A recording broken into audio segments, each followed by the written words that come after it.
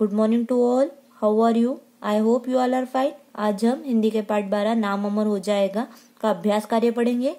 इस पार्ट में पिछले वीडियो में हमने इस पार्ट को पढ़ा था। इसमें हमने पढ़ा था कि हमारे छोटे छोटे काम करने से भी वो बड़ा काम बन जाते हैं, बड़ा फ़ायदा दे जाते हैं। इसलिए हमें मिलजुल कर काम करना चाहिए। इससे हमारा और हमारे देश का नाम अमर हो जाएगा। अब हम इसका अभ्यास कार्य करेंगे। अब बातचीत करें। ये आप डिस्कस कीजिए, बातचीत कीजिए। मिट्टी में बीज बोने से क्या बन जाता है? मिट्टी में बीज बोने से वो बीज वृक्ष बन जाता है। ख, क्या जलाने से अंधकार दूर होता है?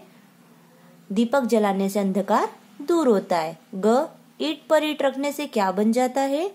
ईट पर ईट रखने से महल बन जाता है। प्रश्न दो, नीचे लिखे प्रश्नों के उत्तर दीजिए। अब नीचे लिखे प्रश्नों के उत्तर देना है। क, कोई काम सरल कैसे हो सकता है?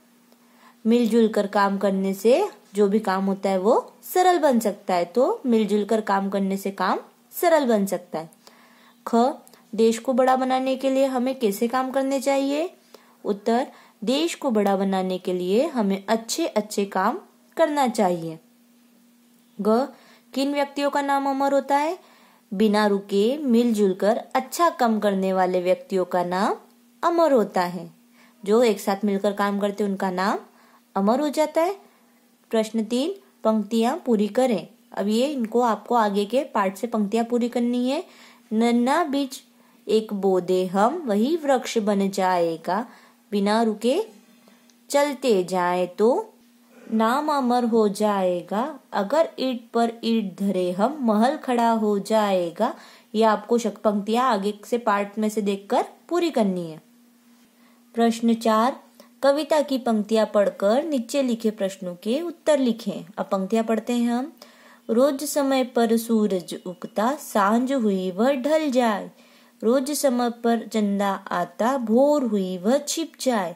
सूरज एक सुबह के टाइम में आता है। आप सभी को पता है कि सुबह सूरज उगता है और शाम को जो सूरज है वो छुप जाता है, ढल जाता है, डूब जाता है। और रोज समय पर चंदा आता, सूरज के जाने के बाद चंदा भी आता है। और चाँद जो है वो सूरज के आने पर छिप जाता है। सबका टाइम अपना अपना फिक्स है कि सूरज का भी एक सुबह के समय उगता है और शाम को ढल जाता है और चंदा शाम को आता है और सुबह सुबह छिप जाता है। समय की कीमत तुम पहचानो, बीता समय न आए जानो।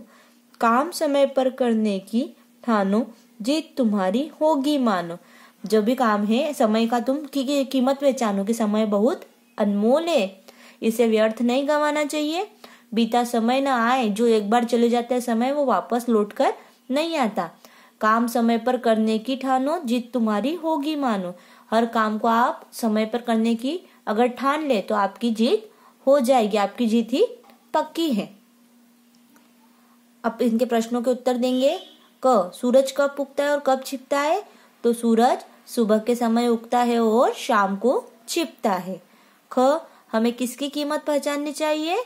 तो हमें समय की कीमत पहचाननी चाहिए। ग, हमें अपने सभी काम समय पर क्यों करने चाहिए?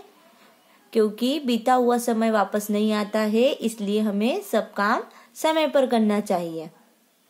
इन प्रश्न उत्तरों को अपनी कॉपी में लिखिए। Thank you.